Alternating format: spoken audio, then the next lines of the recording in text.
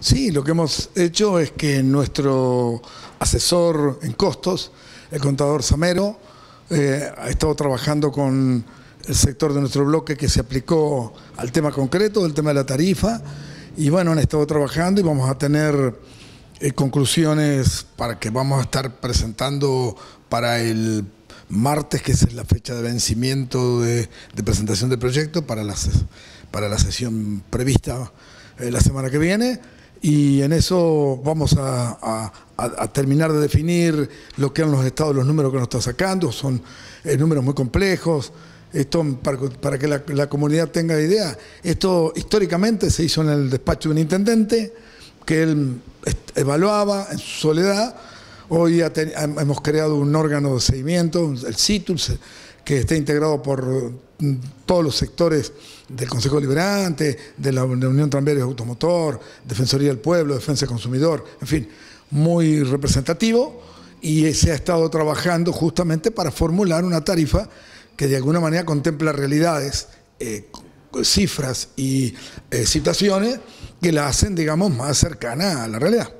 Ahora, concejal, ese proyecto que el bloque de Cambiemos presentaría el próximo martes, que es la fecha de vencimiento para el ingreso de los proyectos al Consejo. En la sesión del 28 de mayo venidero, si no tiene despacho de comisión, debería contar con los dos tercios para su tratamiento.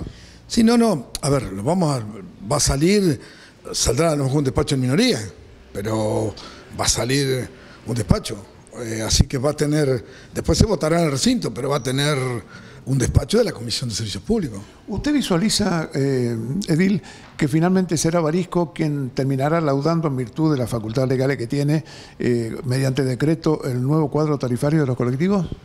Mire, yo pensé que nosotros, yo no puedo este, interpretar el pensamiento del intendente. Nosotros nos ha dicho que trabajemos, nosotros somos lo que cambiemos, estamos trabajando y vamos a seguir trabajando.